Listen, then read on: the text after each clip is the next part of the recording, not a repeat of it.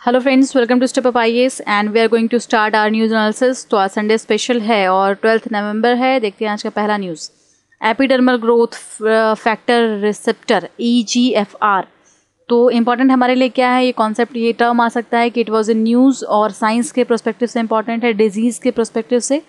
तो ये एक थेरेपी है जो कि कैंसर को ठीक करने के लिए इस्तेमाल की जाएगी। जो E G E F R है एपिडर्मल ग्रोथ फैक्टर रिसेप्टर ये एक थेरेपी होगी जो कैंसर को ठीक करती है।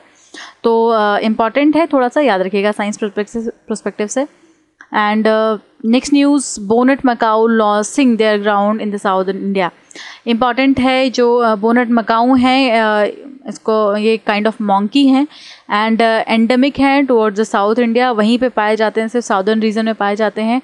पेनिनसुलर इंडिया में ये पाए जाते हैं। एंड uh, अभी इनमें इस पर सर्वे हुआ था तो सर्वे में जो तमिलनाडु के सलीम अली सेंटर हैं जी नेचुरल हिस्ट्री सैकॉन उन्होंने सर्वे किया है और काफ़ी सारी चीज़ों का पता लगा है बोनेट मकाऊ के बारे में। तो they found that the rhesus macaque have spread as far south as Karnataka's Raichur district adding that twenty four thousand square kilometre to their former range in an area where bonnet macaques use to reside अभी ये पाया गया सर्वे में कि जो ये bonnet मकाउज है, इनका कॉन्फ्लिक्ट चल रहा है रिजस मकाउज के साथ। तो चूँकि इनका जो एरिया है वो काफ़ी लिमिटेड है, और अगर वहाँ पे कोई दूसरा स्पेसीज आ जाता है या उसको कैप्चर करता है तो फिर इनको थ्रेट होने लग जाएगी। तो अभी ये रेसस मकाऊ की वजह से काफ़ी ज़्यादा दिक्कतें आ रही हैं, इनके हैबिटेट को प्रॉब्लम हो रही है। इसके अलावा इनको जाति बोला जाता है याद रखिएगा। जाति बोनट मकाउस को ही बोला जाता है और ये एंडेमिक है साउथ इंडिया के। एंड द डिस्ट्रीब्यूशन कहाँ कहाँ पर है? इंडियन ओशन में है सिर्फ़ इनका डिस्ट्रीब्यूशन गोदावरी ताप्ती रिवर के अराउंड ये मिलते हैं। एंड uh, ये डायूर्नल एनिमल हैं। ये इंपॉर्टेंट फैक्ट है याद रखिएगा। डायूर्नल एनिमल मतलब ये रात को घूमते हैं रात को एक्टिव होते हैं। एंड uh, ये अगर uh, ये बात की जाए कि कैसे क्या खाते पीते हैं ये लोग तो फ्रूट्स नट्स सीड्स फ्लावर्स ये सारी चीज़ें खाते हैं जो ह्यूमन इनको प्रोवाइड कर देते हैं, वो भी ये खाते हैं। तो नॉर्मल से मकाऊ हैं ये। बहुत अच्छे हैं, बहुत शांत हैं और इनका जो हैबिटेट है वो साउथ इंडिया में है। तो ये इंपॉर्टेंट फैक्ट है इनके बारे में और I U C red list की अगर हम बात करें तो इनका जो स्टेटस है वो लीस्ट कंसर्न है। ये ध्यान में रखिएगा कि ये लीस्ट कंसर्न जोन में आते हैं IUCN में। दैट मीन्स कि ये काफ़ी ज़्यादा अमाउंट में है और इन पे बहुत ध्यान देने की आवश्यकता नहीं है। अभी इतना कंसर्न इन, पे नहीं दिखाया जाना है। लेकिन अगर आप जो इनका रियल अभी सिचुएशन है वो देखें तो अभी ये थ्रेड में आने लग गए धीरे। तो तीन चार इंपॉर्टेंट फैक्टर है प्रिलिम्स में पूछे जाने की संभावना बनती है क्योंकि ऐसे जो स्पेसीज है वो पूछ लिए जाते हैं। तो बोनट मकाओ के बारे में याद रखिएगा। पेनिनसुलर इंडिया में पाए जाते हैं first thing second fact is I C red list में लीस्ट कंसर्न जोन में है और एस मकाओ के साथ इनका जो कॉन्फ्लिक्ट चल रहा है तो हैबिटेट की प्रॉब्लम इनको आ रही है अभी। नेक्स्ट न्यूज़ है काकाटिया एरा टेंपल तो कल्चर पॉइंट ऑफ़ व्यू से इंपॉर्टेंट है कि श्री काशी विश्वेश्वरा टेंपल जो है वो 800 ईयर पुराना ये टेंपल है और अभी इसमें काफ़ी एग्जिकेवेशन वगैरह हो रहा है और काफ़ी जाँच पड़ताल चल रही है क्या क्या और चीज़ें पता लगाने की कोशिश की जा रही है। तो श्री काशी विश्वेश्वरा टेंपल कहाँ पे पाया जाता है? तेलंगाना में है। तेलंगाना में है और इंपॉर्टेंट फैक्ट ये है कि काकाटिया पीरियड में इसको बनाया गया था, इस टेंपल को फॉर्म किया गया था श्री काशी विश्वेश्वरा टेंपल को। तो इंपॉर्टेंट है, हालाँकि इसमें बाकी सारे राज्यों के भी लोग जाते हैं पूजा करने के लिए और लॉर्ड शिवा का ये टेंपल है। ये भी याद रखिएगा कि लॉर्ड शिवा का टेंपल ये इसकी इमेज है, देख लीजिए, इस तरीके से दिखाई देता है। नेक्स्ट न्यूज़ है protection of child from sexual offence act जो पॉक्सो एक्ट आप लोग पढ़ते हैं, बहुत इंपॉर्टेंट एक्ट है और चाइल्ड को प्रोटेक्ट करने के लिए इस एक्ट को लाया गया था 2012 में protection of children from sexual offences तो इसमें जो चाइल्ड की ईयर डिफाइन की गई है, वो 18 ईयर है कि 18 ईयर्स तक के एज के बच्चों को चाइल्ड कंसीडर किया जाएगा। और इसमें क्या क्या चीज़ें हैं? जैसे कि जो हीनियस क्राइम होते हैं, जैसे कि sexual abuse sexual exploitations of the children through less ambiguous and more stringent legal provisions तो ministry of women and child development के द्वारा इसको प्रपोज किया गया था और इसमें चाइल्ड के राइट्स को प्रोटेक्ट किया जाता है, उनको इन ऑफेंसेस से बचाने की पूरी कोशिश की जाती है।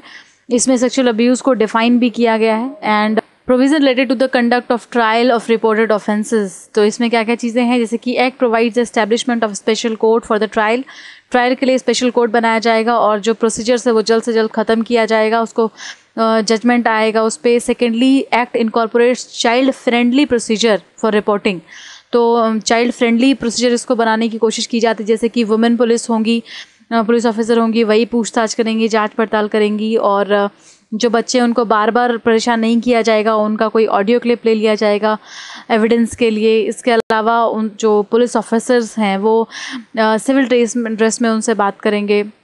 इन्वेस्टिगेशन या ट्रायल का जो तरीका होगा, वो बहुत ही नॉर्मल रखा जाएगा, ताकि चिल्ड्रन के मतलब साइकोलॉजी पे उसका इम्पैक्ट ना पड़े। तो इन सारी बातों की इसमें ध्यान रखेगी है। बहुत बड़ा ये एक्ट है, इसको एक बार फिर से ज़रूर पढ़ लें। इंपॉर्टेंट भी है, आपको मेंस में लिखने में भी काम आएगा। नेक्स्ट न्यूज़ है इंपॉर्टेंट है ये भी जो प्रोजेक्ट है हालाँकि देखिए रीजनल है ये बट uh, हो सकता है कि पूछ लिया जाए। Caring for little heart project ये क्या है?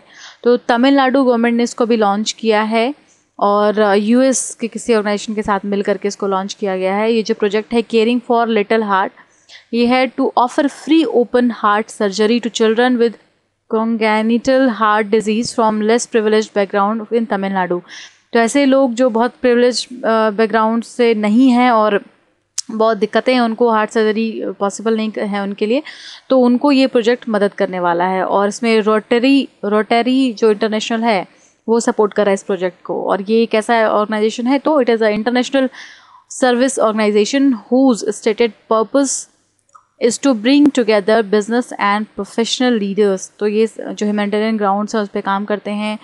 और चैरिटीज़ करते हैं अच्छे अच्छे काम करते हैं वो उसका उद्देश्य है। अब कल के क्वेश्चंस का आंसर देख लेते हैं। पहले तो thanks for answering the questions but हाँ बहुत सारे लोग हैं जो कुछ गलत आंसर्स भी दे रहे हैं। uh, मैं ये एक्सपेक्टेशन नहीं रखती हूँ क्योंकि हम लोग इस न्यूज़ को एक दिन पहले ही पढ़े रहते हैं। तो अगर आपको उस वक्त क्लियर नहीं होता है आंसर तो आप ज़रूर से एक बार पिछला वाला न्यूज़ पढ़ लें और फिर आप आंसर उसका करें ठीक है? तो जो फ़र्स्ट क्वेश्चन उसका आंसर है फंगाई कि जो एस्परजिलस फ्लेवस है वो एक फंगाई है। Second question is olive ridley turtle के बारे में कि आयुसियन रेड लिस्ट में इसका क्या स्टेटस है? दैट इज़ वलरेबल और थर्ड uh, क्वेश्चन देखते हैं। Which of the following statement is incorrect about FEMA हम लोगों ने कल डिस्कस भी किया था। तो फेमा uh, के बारे में आप देखें तो देखिए यहाँ पे मैंने इनकरेक्ट पूछा है कि कौन सा स्टेटमेंट इनकरेक्ट है। तो पहला वाला जो स्टेटमेंट है, वो करेक्ट है एक्चुअली क्योंकि रेसिडेंट के लिए अलाउड है, जो कि उसमें फेरा में नहीं था। But second one is incorrect है ना? तो ये ट्रू है। आप क्वेश्चन को प्लीज़ समझिए यहाँ पे कि क्या पूछने की कोशिश की गई है। तो पहले जो फेरा था, वो क्रिमिनल ऑफेंस था बट जो फेमा है, वो सिविल ऑफेंस है। तो सेकेंड स्टेटमेंट इनकरेक्ट है तो इसका आंसर क्या होगा? ओनली टू और आज देखिए, इसका आंसर है। आज का क्वेश्चन देख लेते हैं। Which of the following statement is or are true about the people first the statement one is implemented by the pension fund regulatory development authority P F R D A second statement है कि, जो campaign है वो A P Y को और बढ़ाने के लिए, अटल पेंशन योजना को बढ़ाने के लिए इस कैंपेन को लाया गया है। तो क्या, कौन सा आंसर इसमें सही होगा, आप बताएँगे। Next question is which of the following statement is or are true about international court of justice ICJ के बारे में क्वेश्चन है। स्टेटमेंट को ध्यान से पढ़ें और उसका आंसर करें। पहला तो स्टेटमेंट है कि इसको 1945 में स्टैब्लिश किया गया था। दूसरा स्टेटमेंट है कि it is not a party to ICJ India is not a party to ICJ तो आपको बताना है आंसर सही कौन सा है? So thank you very much thanks for being with me है for watching this video please subscribe करें इस वीडियो को, जो भी लोग देख रहे हैं। और क्योंकि हमारे इस चैनल पे कई सारे नए इनिशिएटिव्स आते रहते हैं और अभी आगे भी आएँगे तो आपका उसको टाइम पे पता चले। तो इस वजह से ज़रूरी है कि आप पहले तो सब्सक्रिप्शन भी बढ़ाएँ, आप जो बेल होती है उसको क्लिक करें ताकि नोटिफिकेशंस आप तक पहुँच जाएँ। और पीडीएफ जो है वो आपके डिस्क्रिप्शन बॉक्स में भी कई बार उसका लिंक होता है।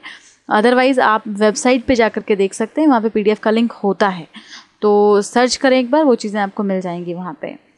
Thank you thank you very much for being with me here and thanks a lot keep starting